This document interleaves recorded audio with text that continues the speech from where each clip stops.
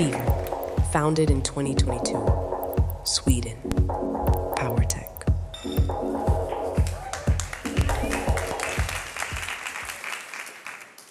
Hello, everyone. To fight climate change, we need transition to renewables. We need electrification of transport and mobility and industry. We have an increase in demand. Renewables are unpredictable. We can solve abundance by firing up coal power plants. But hey, nobody wants that, right? We can also build out the transmission grid, but it's costly, it takes time, which we don't have, and involves a lot of guessing.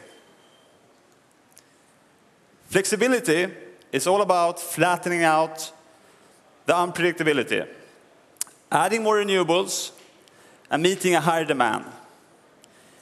If we can make energy resources smart, such as EVs, we can start charging, stop charging, and even discharge back to the grid.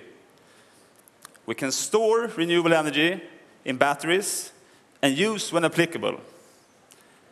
All of this combined, and we essentially have a power plant, a virtual power plant that can replace coal power plants. Brattle reports, compared to other options, in the US alone, the coming 10 years, to be at $35 billion. This number is even higher for the EU. The future is about nuclear, wind, hydro, and solar, together with flexibility.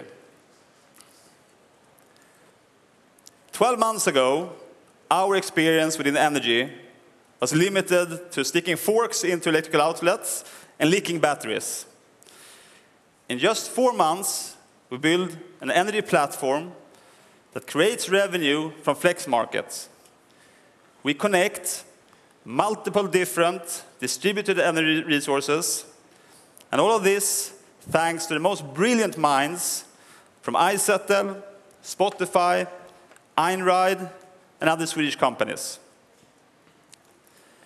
We connect everything from utility-scale batteries to utility companies and EVs, and all of this without any hardware.